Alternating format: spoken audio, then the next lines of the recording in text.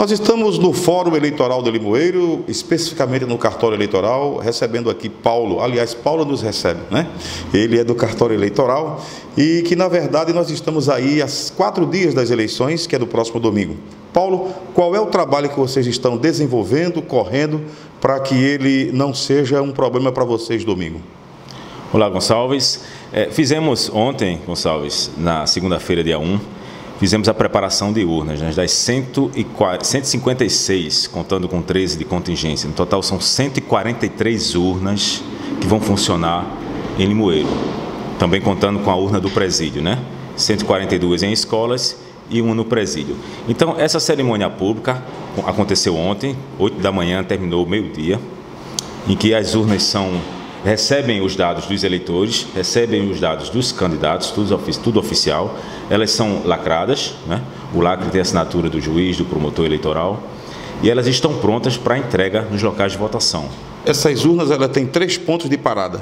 Ela recebe os dados da eleição nacional, os dados da eleição estadual e em cada cidade os dados dos eleitores. Seria isso? Exatamente, em cada sessão, os dados eleitores daquela sessão, específico daquela sessão. Os dados do candidato, como a eleição geral, é um só para o Estado todo, os dados dos candidatos. Né? Nesses dados, se refere é, aos dados, é, as fotos, número, partido, toda essa informação é inserida na urna, o que diferencia realmente uma urna de outra esse ano é o fato dos eleitores, né? que é específico para cada sessão. Então, essas urnas estão preparadas, estão aqui no, no, local de armazenamento. Sexta-feira, elas começam a ser entregues nos locais de votação, conforme a orientação do TRE. Aqui vocês não cuidam só da de Limoeiro, parece que quatro cidades passam por aqui, não é? Não, são quatro zonas que correspondem a oito cidades. Oito né? cidades. Tem Limoeiro, Feira Nova, Lagoa de Itaenga, Passira, Cumaru, Macaparana, São Vicente Ferre e Vicência. Agora, me parece que um local onde vocês têm muita preocupação é o presídio, porque lá tem eleitores de outros estados e eleitores de vários municípios do estado que estão em Limoeiro. É, certo. Como de outras vezes, né, é dada a oportunidade para os presos que ainda não foram condenados, fique bem claro isso, porque a partir da condenação do preso, ele tem seus direitos políticos suspensos. Então, os presos que ele estão. Ele nem pode votar nem ser votado. Perfeitamente. Os que estão aguardando ainda a condenação têm o direito de voto, igual a gente. Não, então não foram condenados ainda. Então, foi feito no momento, momento lá atrás, até 9 de maio, né, que era o prazo de alistamento, transferências. Então, eles trouxeram os presos provisórios, que a gente chama presos provisórios, trouxeram para a gente. Os que não tinham título foi feito o alistamento, os que eram de outra cidade foi feita a transferência. E temos hoje, para votar, 182 presos provisórios no presídio, na sessão do presídio. Para o eleitor, qual o tipo de serviço que o cartório eleitoral ainda está prestando hoje? Só orientação, porque a segunda via foi até o dia 27, né? A segunda via do título, a segunda via física, papel do título, foi até o dia 27, que 10 dias antes da eleição, segundo o calendário eleitoral. Então, só apenas orientação. A gente está na, na, expectativa da, do carregamento dos caminhões, a entrega do, das urnas nos locais de votação e orientações aos mesários, administradores de prédio. Eleitores, esse ano o número cresceu em Limoeiro?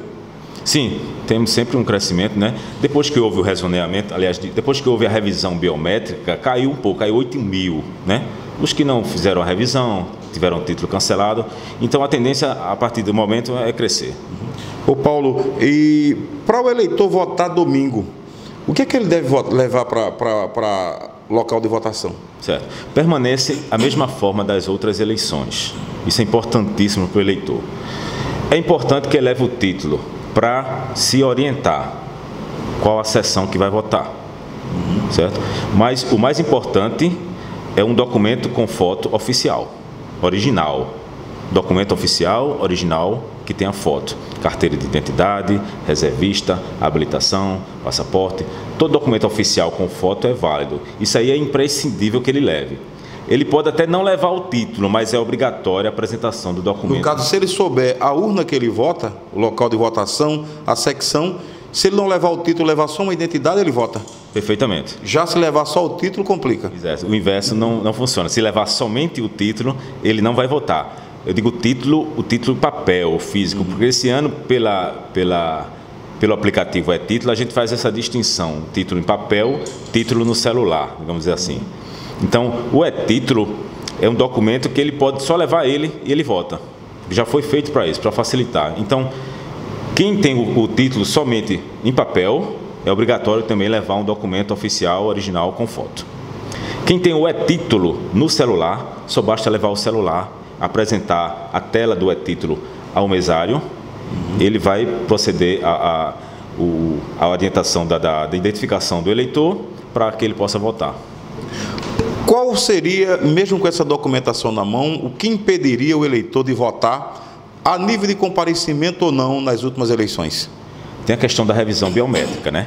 Apesar de ser a segunda eleição com revisão biométrica, já depois da revisão, então pode ser que o eleitor não tenha comparecido, não fez a revisão, não compareceu, não pôde votar na outra, não veio aqui fazer a regularização do título e ainda permanece cancelado.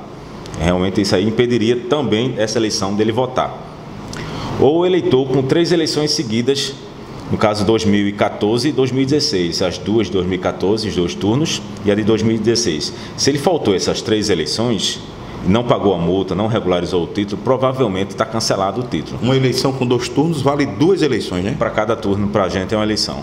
Então esse eleitor não votaria? Não votaria. Se ele perdeu 2014 e 2016. Uhum. Esse ano, provavelmente, ele está com o título cancelado. É só se ele veio aqui depois da eleição de 2016 e regularizou. Aí não. Aí tudo certo. É, aquele eleitor que tem dificuldade de votar, talvez um idoso, um cadeirante, um deficiente físico, é, visual, o que é que eles fazem para votar? Olha, é permitido por lei e o mesário ele está orientado nesse sentido que o eleitor leve um acompanhante, um acompanhante de sua confiança, é o que diz o texto da lei. É permitido o eleitor deficiente ou com mobilidade reduzida levar um acompanhante de sua confiança. O acompanhante se identifica perante a mesa receptora, inclusive com um documento é, é, com foto. O mesário vai registrar esse momento na ata. E o eleitor pode ir acompanhado né, até a cabina, inclusive o acompanhante pode digitar por ele. É permitido por lei. Eu acredito que é o único caso de quebra do sigilo do voto, porque o outro vai saber. É Mas é um caso que é um caso bastante especial, eleitores deficientes e com mobilidade reduzida.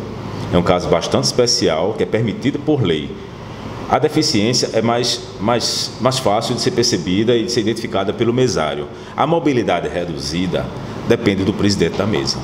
O presidente da mesa, como vocês sabem, é a autoridade no dia da eleição. O juiz eleitoral e o presidente de cada sessão eleitoral são autoridades. Então, a mobilidade reduzida, se o eleitor tem ou não condição de votar sozinho, cabe à autoridade presente, que é o presidente da mesa, decidir. Pode ir para a urna votar com celular? Não, não.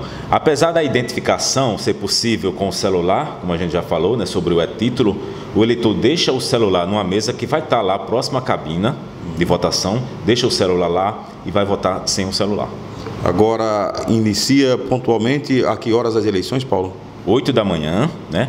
Lembrando aos mesários, os mesários chegam antes, os mesários chegam às 7 da manhã.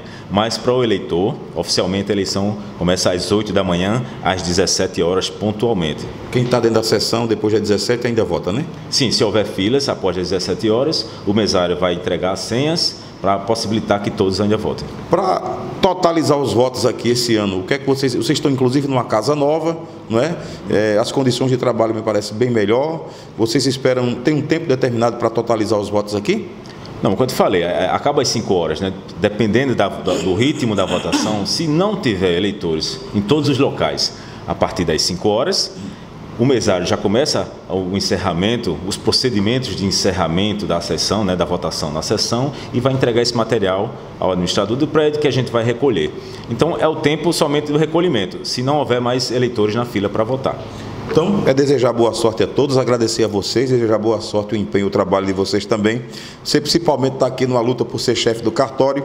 E agradecer, Paulo, essa parceria, essa receptividade que tem com a imprensa aqui em Limoeiro. Eu que agradeço, Gonçalves, a, a, a, toda a cooperação que vocês têm, não agora só, desde há muito tempo, desde a convocação de mesários, todas as informações que a gente repassa, que vocês prontamente nos atendem. Gonçalves Filho para a Web TV Notícia e Rádio Cultural FM.